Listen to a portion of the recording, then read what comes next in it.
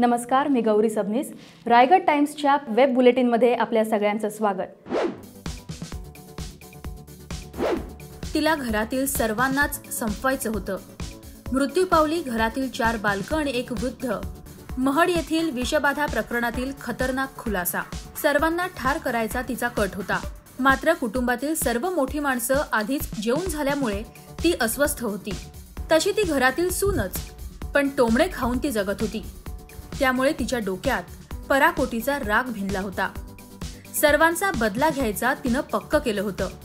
मोठे वाचले पण घरातील लहान मुलांना विष घालून ती मोकळी झाली होती. एका महिलेच्या कटामुळे पाच जण जीवाला मुकले होते. जिल्ह्याला हादरवणाऱ्या या घटनेची उकल रायगड पोलीस अधीक्षक डॉक्टर अनिल पारसकर यांच्या टीमनं केली आणि या महिलेला जेलमध्ये बंद केलंय. महड येथील सुभाष रामचंद्र माने यांच्या नवीन घराच्या वास्तुशांतीच्या जेवणातून विषबाधा नाही तर घरच्या सुनेनंच विष टाकल्याची बाब उघड झाली आहे. प्रज्ञा उर्फ ज्योती सुरेश सुरवसे असे या महिलेचं नाव आहे.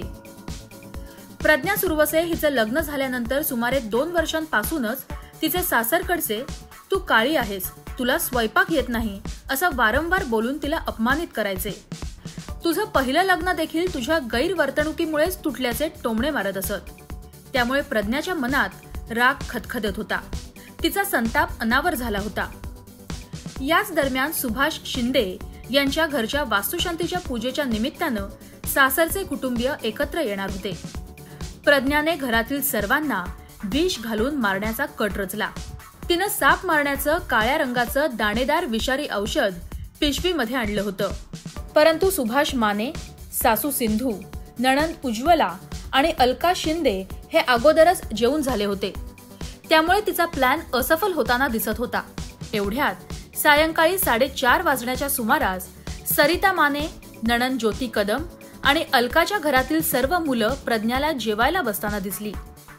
तिनं त्यांना संपवण्याच्या इशाऱ्यानं डाळ वाढण्याच्या बालदीमध्ये विषारी औषध टाकलं आणि सदर पिशवी घराच्या मागच्या दरवाजातून पाठीमागे टाकून दिल्याची कबुली तिनं पोलिसांकडे दिली आहे बदला घेण्याच्या प्रज्ञाच्या या मूर्खपणामुळे कल्याणी ऋषिकेश प्रगती विजय श्याम शिंदे या चिमुरड्यांसह गोपीनाथ संभाजी नकुरे वयवर्ष त्रेपन्न या पाच जणांचा जीव गेलाय.